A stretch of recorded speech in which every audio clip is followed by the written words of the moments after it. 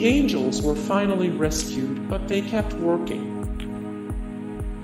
Things were beginning to look grim. By 1945, more prisoners were dying, and food had become scarce, with each individual taking in only about 700 calories per day. The camp was on a rapidly ticking clock, with each second weighing heavier than the last. Then, in February 1945, the nurses were finally liberated in Manila, and all 77 nurses, as well as all other surviving POW, were freed. Remarkably, every angel survived. Still, their work wasn't over. After the battle in Manila, the nurses helped care for the American soldiers who had rescued them before finally being relieved of duty weeks later. One survivor recalled leaving camp weighing only 75 pounds. She'd entered camp almost three years previous, weighing 130 pounds. Maude Davison and Josephine Nesbit took the lead to keep the group's spirits up. Being interred as prisoners of war is perhaps one of the most frightening experiences one could endure. One is always a deafening gunshot or swift flick of a knife away from being just one more casualty in a long list of fallen heroes. Fortunately for the Angels of Bataan, they had leaders like Maude Davison and Josephine Nesbit lighting their way. Together, the two laid out routines for the other nurses to follow in order to establish a sense of normalcy, with nurses being required to work four hours per day. And if any of the nurses were too weak, then either Davison or Nesbit would take over their shift personally. Several nurses kept diaries of their struggles.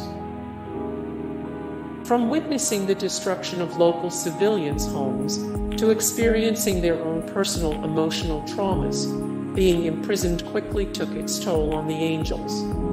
In order to document these daily struggles, and perhaps in an effort to maintain sanity, several of the nurses kept diaries of their time in the Japanese camps.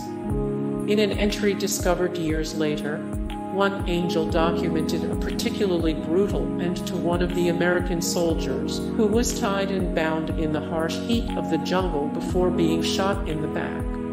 She wrote whether he died instantly or wounded and bleeding lived on until he finally died, we will never know.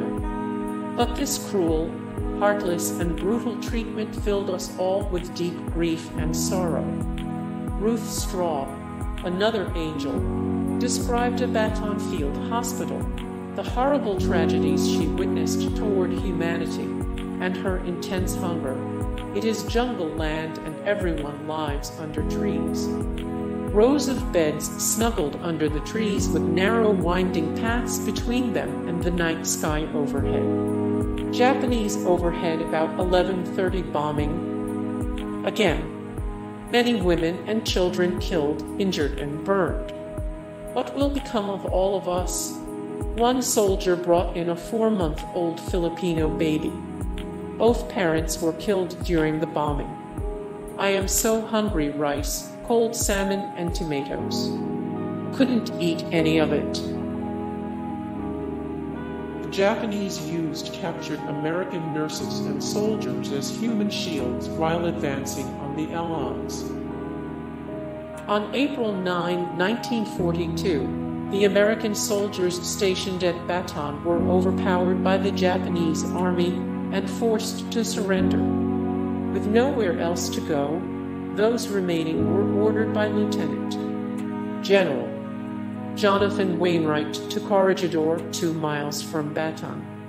Despite direct orders, the nurses initially refused to go, instead opting to stay with their patients, but the threat of the Japanese was too dangerous. They had to go. The angels were moved around from field hospital to camps, and eventually the army nurses were interned at Santo Tomas internment camp in Manila, while the Navy nurses moved north to the Los Banos internment camp. The angels called themselves the Battling Belles of Bataan.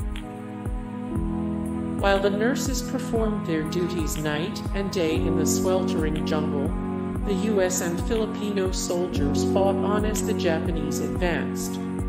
The problem was, like the angels, the soldiers on the island were not as adeptly trained as those in other campaigns, and were unfortunately outfitted with somewhat obsolete weaponry. Along with the constant threat of the next assault, there was the sweltering heat of the jungles, the 100% humidity levels, and the acrid dust storms that kept Allied forces from ever gaining the advantage. Despite the odds against them, the roughly 72,000 Allied members were determined to drive back the onslaught. Because of their determination, the soldiers gave themselves the moniker battling bastards of Bataan, and the women referred to themselves as the battling belles of Bataan. They were the first large group of women to face combat conditions in WW2. The Japanese assault on the Philippines was relentless. Bombs continued to fall all across Manila as the nurses desperately tried to save the lives of wounded soldiers. Eventually, U.S. forces had no choice but to retreat into the Bataan Peninsula. Once there, the nurses set up makeshift cots and camps in order to continue their service. Over the course of four months, the nurses saw roughly 6,000 patients in 18 open air camps, but most were eventually taken to the Santo Tomas internment camp in Manila, from which they were eventually liberated. Along with soldiers' artillery wounds, the nurses were also faced with treating malaria and dysentery from their time in the jungle. They weren't being pushed from the frying pan into the fire, rather, they were being pushed into a slow cooker as the conflict raged on. The attack on the Philippines was devastating and sent the Angels into crisis mode. Just days before Pearl Harbor, it seemed the women had a life of leisure. There were hardly any medical concerns, and some days they were able to sunbathe and play tennis. Less than 12 hours after the event, the Philippines became the next target. Bombs were dropped on Manila by Japanese Zero fighter planes, and soon the hospitals were swamped with casualties. The nurses were being thrust headfirst into WW2's horrors. The Angels were stationed in the Philippines before Japan made their strike on Hawaii. Originally stationed in the Philippines in 1941, when WW2 broke out, the Angels of Bataan were female Army nurses who enjoyed being stationed at Manila because they were able to see the world while also enjoying the beautiful natural landscape. While the nurses got along with the Filipino natives for the first three weeks, everything changed on December 8th, the day which will forever live in infamy. After almost the entire American fleet was destroyed in the attack on Pearl Harbor, Josephine Nesbit, one of the veteran nurses who would eventually help keep the angels together, told the women, Girls, you've got to sleep today. You can't weep and wail over this because you have to work tonight. Soon, bombs would start dropping on the Philippines, but the angels were prepared. Hey guys, thank you so much for the support and likes and comments down below and also thank you so much for watching and I look forward to see you in the next video then. Take care. Bye.